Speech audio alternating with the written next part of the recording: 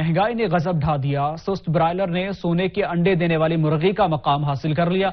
हारूनाबाद में मुर्गी का गोश्त भी मुतवसत तबके की कुत खरीद से बाहर हो गया। हारूनाबाद से अरशद गाली की रिपोर्ट देखिए। साल 2023 के शुरू होते ही हारूनाबाद में ब्लैलर की कीमत नई रिकॉर्ड सतह पर पहुँच गई। मार्केट में पहली बार ब्लैलर गोश्त पाँच सौ रूपए फ़ी किलो ऐसी तजावज कर गया है, जबकि कीमत में कमी के फ़िलहाल कोई आसार भी नज़र नहीं आ रहे। हारूनाबाद शहर और गिरदुरवा में पाँच सौ पचास रूपए तक गोश्त की फरोगत होने लगी जो कि ब्रीफ के बराबर पहुँच चुकी है। चिकन लेने आया हूँ तो रेट सुन के परेशान हो गया हूँ। साढ़े पाँच सौ रुपये किलो ब्लैलर का गोश्त हो गया आज से तीन हफ़्ते पहले यही साढ़े तीन सौ रुपये किलो था। साढ़े पाँच सौ रुपये रेट है जो कि आम बंदे की पहुँच से बाहर है।